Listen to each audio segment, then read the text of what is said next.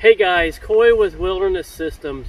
I am on the awesome new river. I've been here all weekend and I wanted to give you just an opportunity here to check out my Recon. This is my first season with the new Recon.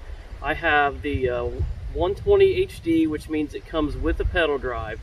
You can get the standard version uh, that costs significantly less without a pedal drive and set it up like this. Today, um, like I said, I'm on the river, so I don't have my pedal drive with me on this occasion.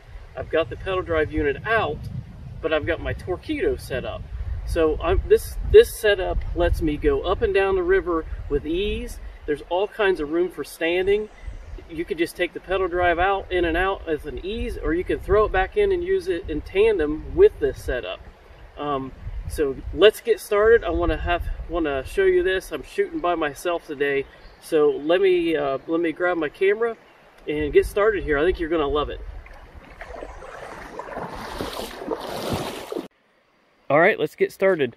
So kind of about a stern walkthrough. I'll start with the Anchor Wizard. Uh, so this is a really easy setup. All you need is the crank. I didn't even use the chute portion. Mounted it to the gear track. And then I use the slide track tie downs from Wilderness System as the guide for my, my cord. I put one up here simply to keep this horizontal rod storage area unobstructed. Kind of guides it around. Just run it up to a carabiner tethered with some paracord, a homemade anchor, and then when I'm not using the anchor, I put my slip knot around the carabiner, tighten everything up, keeps all the loose uh, cords and, and ropes out of the way, nice and neat for you. I have um, the rope on the front. This is just a, a, rope that I put here for when I'm wade, wading and pulling the boat up through the river. Like I said, to, this weekend I've been using it for the river application, so I don't have the pedal drive unit in. Uh, I took it out for now. Gives you a little more room and using the Torqeedo instead. Um, so the, the paddle, I just have it laying here because so I can simply grab it, make a quick adjustment.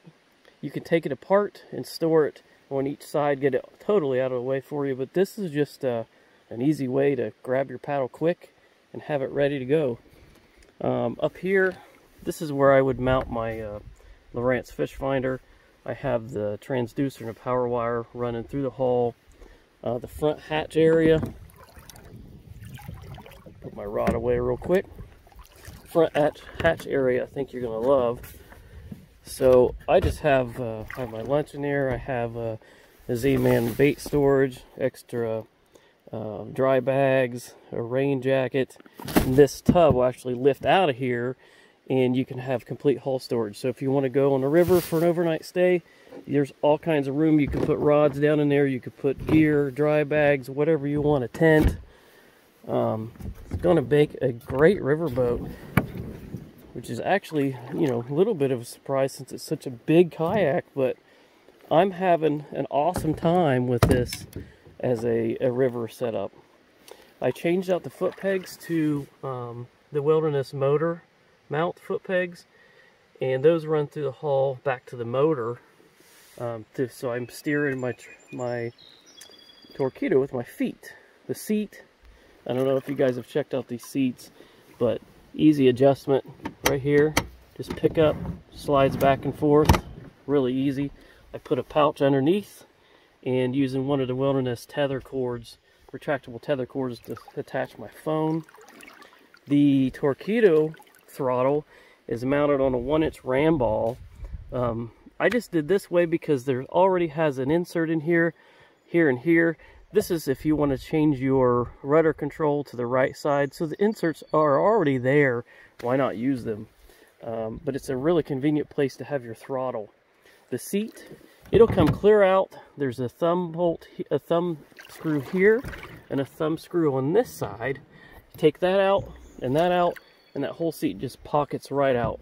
It's fantastic. So your um, your crate is in the back I have it tethered down uh, four points and um, you know catch board everything mounted right to the wilderness crate. If you haven't checked out a wilderness crate you need to do so. Those are awesome. Uh, the Torqeedo battery is secured in the back. Um, there he has some some loops with some cord. This is my kind of my homemade setup. Um, I just mount my Torqeedo on a four inch piece of gear track, made a homemade mounting plate. Um, and the way this works, so let's circle around to the other side. This is so that I can use my Torqeedo with my pedal drive if I want to. So the purpose here, the point to that would be so you can power from point A to B and then use your pedal drive to fish.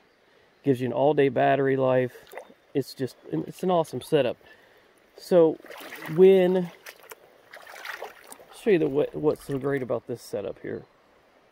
So when you are, if you have your motor up and you're using your pedal drive, you prop it up and then you can push on your foot pegs forward. That's going to get your foot pegs completely out of the way your pedal drive. So when this goes up, you push your foot pegs and the motor slides forward, which creates a bunch of slack for the rudder cord. And then that allows your foot pegs to go all the way forward and clear the pedals.